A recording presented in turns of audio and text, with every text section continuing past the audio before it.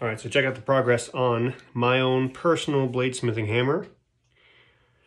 Need a little cleanup there, a little cleanup there, but not a cross peen, but that's gonna make it really nice for doing some detail work. So I got my rounding hammer side. Oh yeah.